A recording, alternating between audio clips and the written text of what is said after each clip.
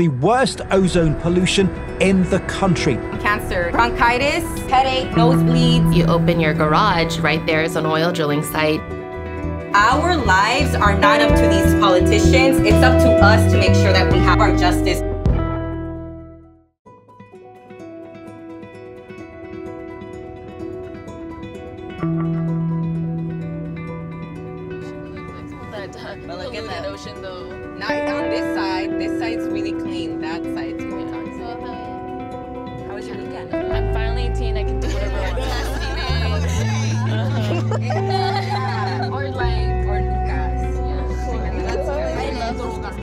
All like opening your like, Wow, the truth comes out. I'm like, you're a hippie. And then what I would come do. I need to start learning how to ride the bike though. Look at that Tesla. I'm watching that Tesla. Ooh, you have to put It's really clean here, right? That's why we can have our windows open. This is like the only time. We're literally 15 minutes, 20 minutes from home.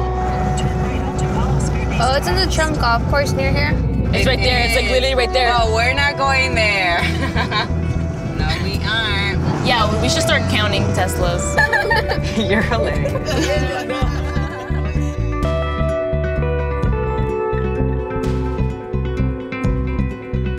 It smells sweet. it smells It smells sweet. like happiness. if you look down there, it looks so ugly. Hey, that's home. No, but like ugly, like as in the refinery You see though. the smog coming out. yeah, from you can see the smog. It's all like gray. Oh yeah, you're right. It's just gray.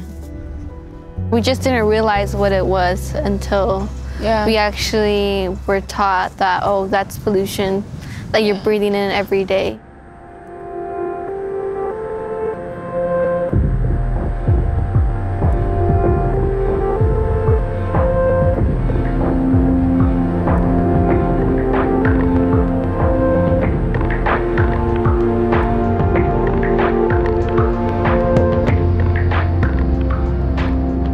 Wilmington is home to the third largest oil field in the US. Almost every street has a view of the industry. Los Angeles and the nearby city of Long Beach have the worst ozone pollution in the country. That's according to a report last year from the American Lung Association. The air here in Wilmington is particularly bad, with the pollution burden sitting at 100, according to the California Environmental Protection Agency. You imagine a scale where zero is fantastic air quality, 100 is terrible. Here in this neighborhood, it's as bad as it gets.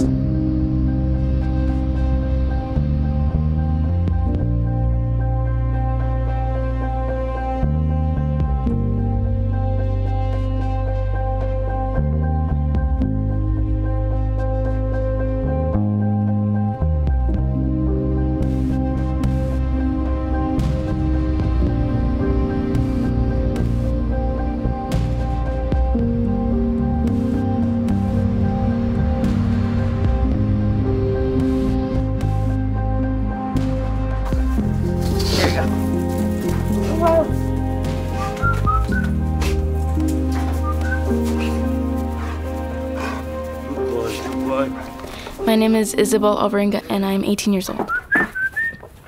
This house is really special to me because even though it's really small, for us it's like really homey and I had my family with me. But when we moved in here, I did not know there was a refinery close to us. Buenas tardes, tengo un dolor de cabeza. Ay, mamita, bebe agua. I did not know that this refinery was actually polluting my lungs, my my family, my health. It was affecting my health. It was making a big impact. Con ganas. In 2013, my mom was diagnosed with cancer, stage three breast cancer.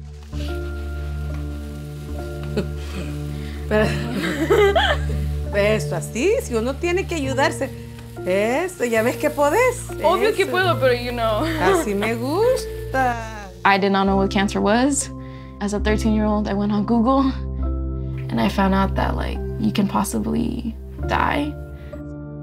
And every single day, this is a constant fear, a stress. I'm just afraid that I won't make it to like my 30s.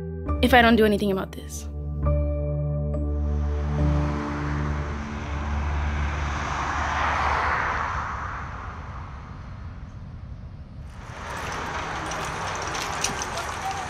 My name is Ashley Hernandez. I am a organizer with Communities for a Better Environment. We are a statewide nonprofit fighting to build environmental health and justice.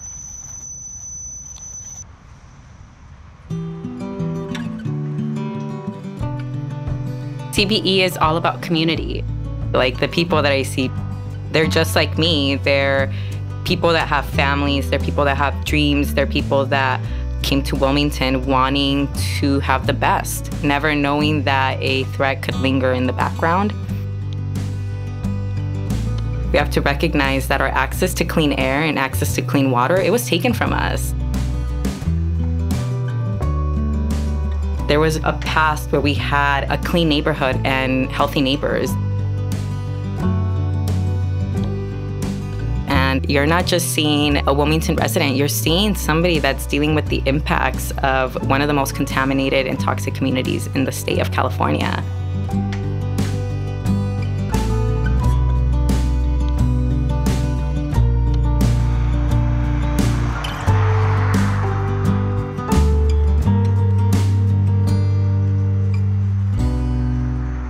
I'm Daryl Molina Sarmiento, and I'm the Executive Director of Communities for a Better Environment. We're a 40 year old environmental justice organization, and we want to make sure that our community members' voices are not silenced.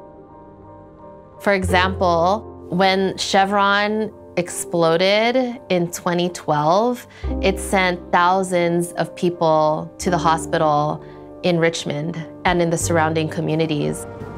My father in law told me, we can't do anything about it. That's a real reaction for so many people. We want folks to know that the power that they have is real and can push back against the oil industry and its impacts in our communities. My name is Gladys Limon. I was senior attorney at Communities for a Better Environment. Environmental justice is about ensuring that all people have basic human rights. And the frontline community is literally at the front line to polluting industries. One of those communities that Communities for a Better Environment organizes in and serves is Wilmington. It is a part of the city of Los Angeles in District 15. The community of Wilmington is impacted by five major oil refineries. Three of them are within Wilmington borders.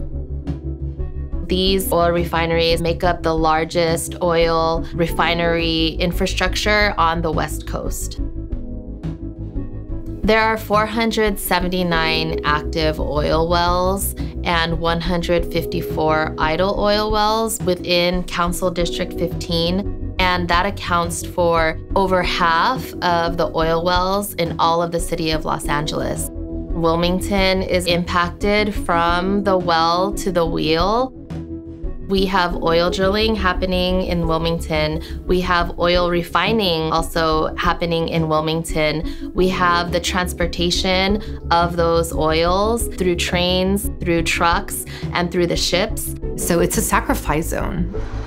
These community members' lives are being sacrificed for this industry and for this economic infrastructure. So everybody has a seat? Except for Art, get in.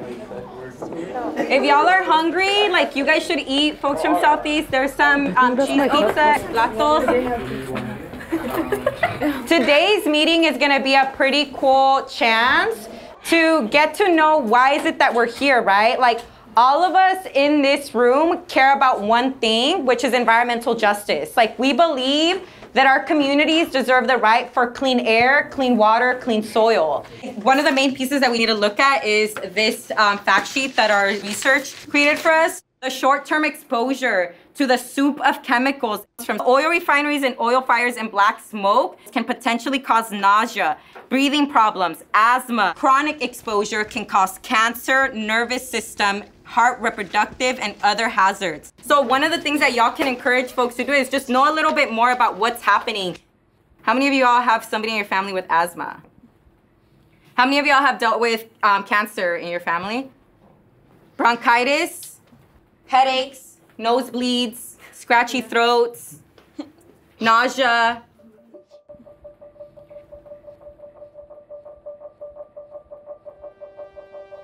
We are the physical representation of that data. What's a sensitive area or sensitive receptor that has oil drilling in your community? Uh, the church. The church. It's where they gather and they pray, and there's the oil drilling in their parking lot. So right where you pray, you have an oil drilling site. Hospitals. Hospitals, yeah.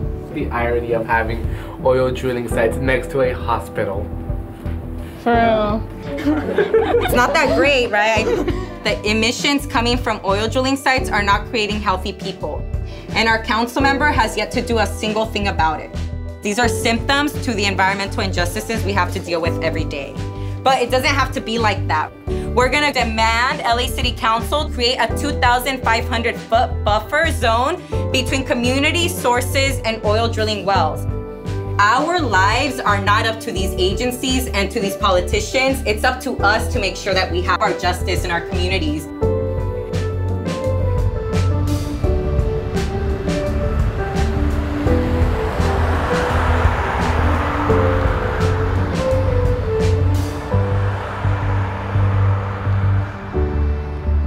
In 2018, a couple of CBE youth members did a study with USC, which is a private university, focusing on particular matter in our communities. Particular matter is substances that are in the air, but we can't see them because they're really, really small. The scientists told us that the average could go up to 30, but when I saw the numbers, my highest one went up to 120. 75, 76, 76, 77.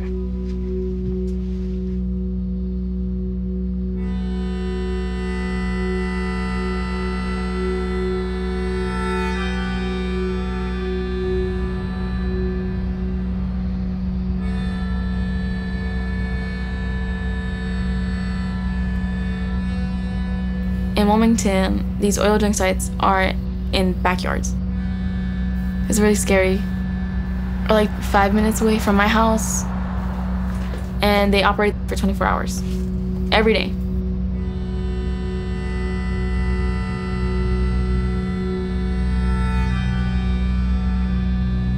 There are dozens of deadly, highly dangerous chemicals that are used in residential neighborhoods on a daily basis at these oil operations.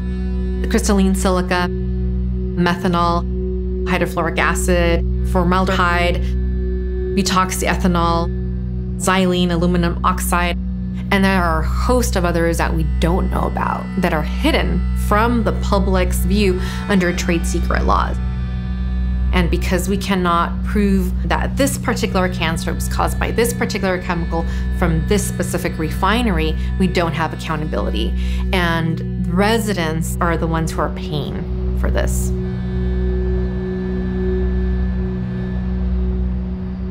You open your garage, right there is an oil drilling site. You're washing your dishes, right there is an oil drilling site. You're at church in the parking lot, there's an oil drilling site. And so we came together with other organizations to advance a 2,500 foot buffer zone in the city of LA.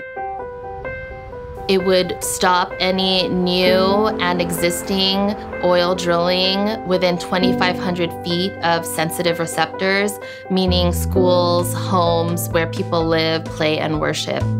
We're gonna have a call to action at City Hall for a 2,500 foot buffer from oil drilling sites to spaces like your homes. So if y'all are down, we're gonna be having a lot of people come out. We're gonna be making a lot of noise because we really wanna make sure that the city passes this ordinance. It's really up to our communities and our concerned residents to get this policy passed. Okay. Awesome. Thank you. You have a good Have a one. nice day. Environmental justice is possible. And so that's why it's very important that frontline communities make sure that we're at the decision making table and we're challenging anything that's going to affect us. Can we take a minute of your day really quickly? Okay. Yay. Okay, so you got one down. Whenever I do canvassing The biggest obstacle is making sure people are engaging into the community because without the folks from Wilmington, we can't do anything. I wanted to leave you this just because you have oil drilling near your neighborhood. There's a church over there that has oil drilling. Yeah, they do. Yeah. You know, there's a daycare around here. It takes a lot of time to build trust with our community. You just have to learn to be in spaces that are challenging, be in spaces that are different, because we know if we're not there, nobody's ever going to see us, and we have to be heard. Y'all don't want to listen to us, but you guys have to at least take notice that residents in this neighborhood want these changes. We need action that's deliberate and that's going to transform our lives. What is it that you're looking exactly? Like, Yeah, what is it that you want from us? You can si- you can help us sign a petition. I'd rather not. Okay, no worries. No worries.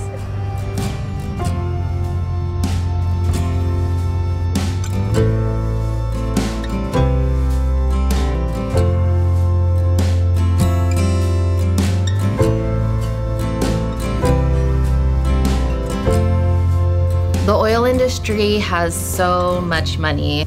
They are funding the Boys and Girls Club, they fund the schools.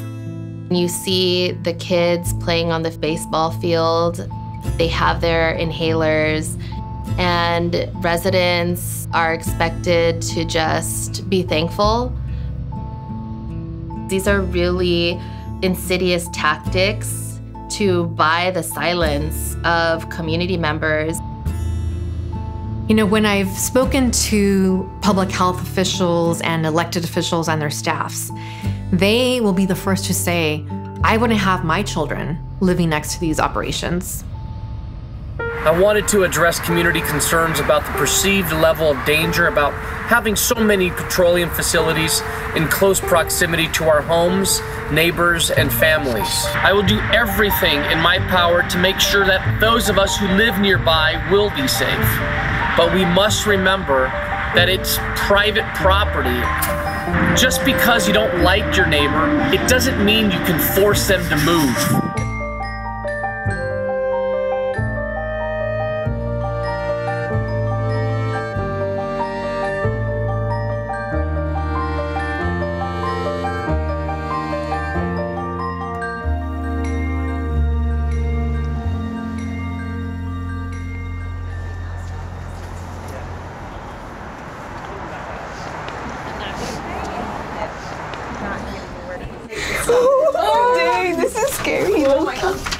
The thing is, you have one minute to tell them like why you're here. Mhm. I feel like at the end you need to make sure you call them out.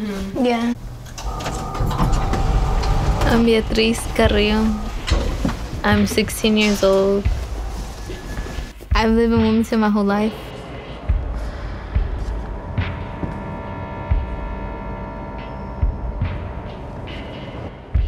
In my mind, there was a chant stand up, fight back.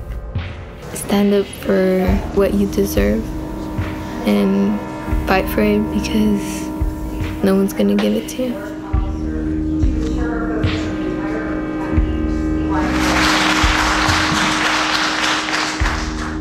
I'm Beatriz, a junior at Port of Los Angeles High School and a Youth for Environmental Justice member with Communities for a Better Environment. I support the 2,500 foot buffer. I've lived in Wilmington all my life. If you Even though we do not have PhDs, we're still gonna fight. In 2012, 1,200 gallons of crude oil spilled on my street. No emergency evacuations, no state of emergency. Not even one representative from Buscaino's office came. I know that we're small, but we have a lot of power. This is why we need a 2,500 setback between homes, churches, schools, and oil drain sites.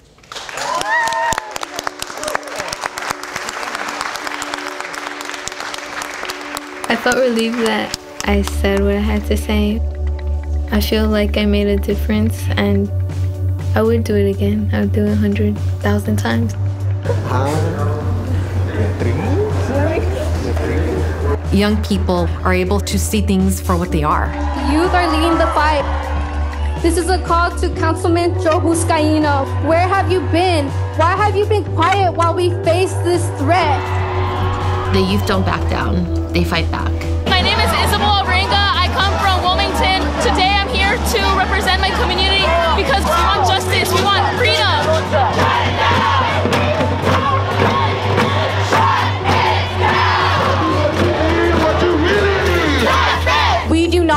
our futures lightly. They are the ones that are experiencing it every single day, and their fight is for their community to thrive. I believe it is a basic human right to breathe clean air and have access to safe drinking water. I fight so no other Angeleno has to experience the nosebleeds that I've had to go through because of toxic emissions. It's very important that we remain strong and recognizing that the most powerful resource and most important resource in Wilmington is not oil, it's us. Stand LA has been an inspiration for all of our statewide partners, making sure that we have a 2,500 foot setback and also phase out all existing wells. When people say, why don't I leave? We just go to another state. I just answer, why am I gonna leave the bad stuff here and just move? I need to change this. I don't